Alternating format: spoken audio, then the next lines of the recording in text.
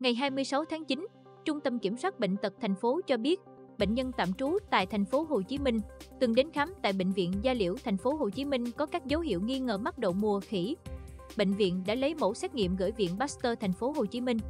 Một ngày sau đó, kết quả xét nghiệm tại viện Pasteur thành phố Hồ Chí Minh cho kết quả bệnh nhân dương tính với virus đậu mùa khỉ. Bệnh nhân hiện đang cách ly điều trị.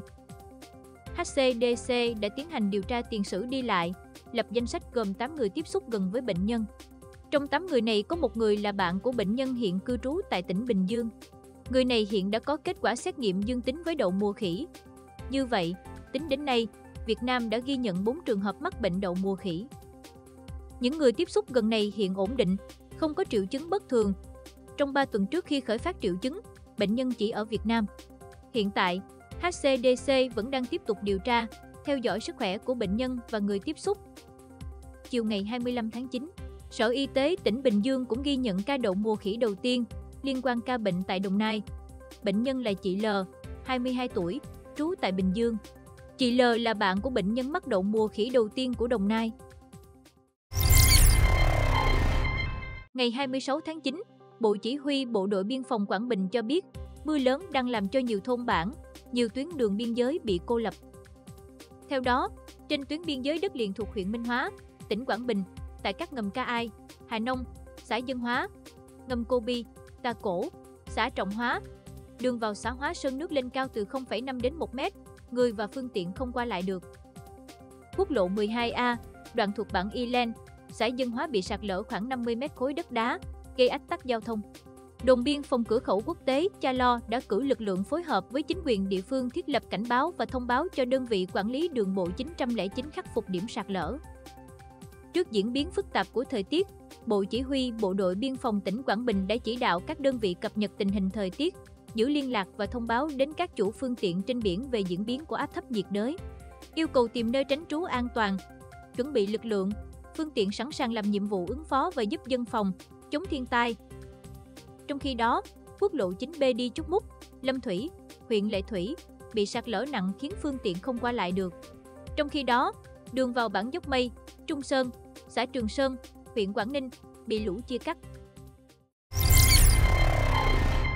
Chiều ngày 25 tháng 9, Ban quản lý đường sắt đô thị thành phố Hồ Chí Minh đã trình Ban cán sự Đảng ủy Ủy ban nhân dân thành phố Hồ Chí Minh về chủ trương xây dựng đề án phát triển hệ thống đường sắt đô thị thành phố nhằm cụ thể hóa mục tiêu phát triển giao thông vận tải đường sắt Việt Nam đến năm 2030.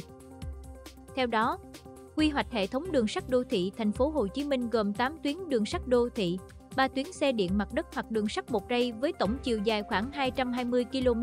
Đến nay, thành phố mới triển khai 2 tuyến. Tuyến metro số 1, từ Bến Thành đến Suối Tiên, thực hiện từ năm 2007, tổng khối lượng thực hiện đạt 96%, dự kiến hoàn thành cuối năm 2023. Tuyến metro số 2, từ Bến Thành đến Tham Lương, đang giải phóng mặt bằng và di dời hạ tầng kỹ thuật, dự kiến hoàn thành vào năm 2032. Trong khi đó, tuyến metro số 5 giai đoạn 1, từ ngã tư Bảy Hiền đến cầu Sài Gòn, đang thực hiện các thủ tục xin chủ trương đầu tư. Tuyến metro số 3A, từ Bến Thành đến Tân Kiên, đang thực hiện các thủ tục xin chấp thuận đề xuất dự án. Tuyến metro số 2 giai đoạn 2, đoạn Bến Thành đến Thủ Thiêm và giai đoạn 3, từ bến xe An Sương đến Tây Bắc Củ Chi, đang có nhà đầu tư quan tâm. Các tuyến còn lại đang kêu gọi đầu tư.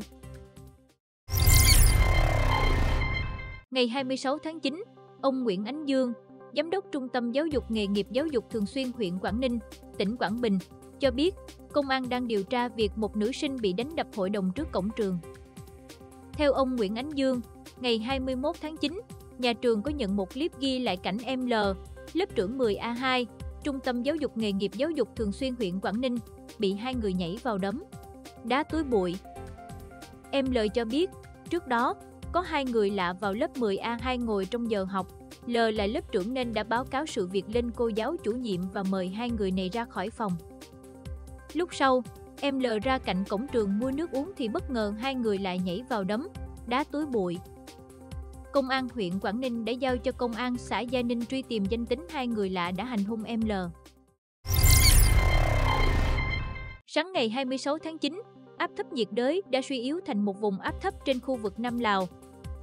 Dự báo trong 12 giờ tới, vùng áp thấp di chuyển chủ yếu theo hướng Tây Tây Bắc, mỗi giờ đi được khoảng 15 km, cường độ tiếp tục suy yếu thêm. Do ảnh hưởng của áp thấp nhiệt đới, đêm 25 và sáng sớm ngày 26 tháng 9, khu vực Nam Đồng bằng Bắc Bộ, khu vực từ Thanh Hóa đến Đà Nẵng và khu vực Bắc Tây Nguyên có mưa vừa, mưa to, có nơi mưa rất to. Riêng khu vực từ Hà Tĩnh đến Thừa Thiên Huế có mưa to đến rất to. Lượng mưa tính từ 19 giờ ngày 25 đến 7 giờ ngày 26 tháng 9 có nơi trên 190 mm như Hương Trạch, Hà Tĩnh 216 mm, Hóa Thanh, Quảng Bình 236 mm, Mỹ Sơn, Nghệ An 190 mm. Từ ngày 26 đến 28 trên 9, khu vực từ Thanh Hóa đến Quảng Bình có mưa to đến rất to với lượng mưa phổ biến từ 200 đến 400 mm, có nơi trên 450 mm. Ngoài ra, từ 26 đến 27 trên 9, nhiều khu vực trên cả nước có mưa to như Đồng bằng Bắc Bộ và từ Quảng Trị đến đến Quảng Ngãi có mưa vừa, mưa to. Có nơi mưa rất to với lượng mưa từ 50 đến 150 mm, có nơi trên 180 mm. Nam Trung Bộ, Tây Nguyên và Nam Bộ có mưa vừa, mưa to. Có nơi mưa rất to với lượng mưa 40 đến 80 mm, có nơi trên 120 mm. Thời gian mưa tập trung vào chiều và đêm. Cảnh báo từ ngày 26 đến ngày 28 tháng 9. Trên các sông ở Nghệ An đến Hà Tĩnh có khả năng xuất hiện một đợt lũ. Biên độ lũ lên tại thượng lưu các sông từ 2 đến 4 m, tại hạ lưu từ 1,5 đến 3 m. Nguy cơ cao xảy ra lũ quét, sạt lở đất ở vùng núi, ngập lụt vùng trũng thấp, ven sông, khu đô thị tại các tỉnh từ Nghệ An đến Quảng Bình.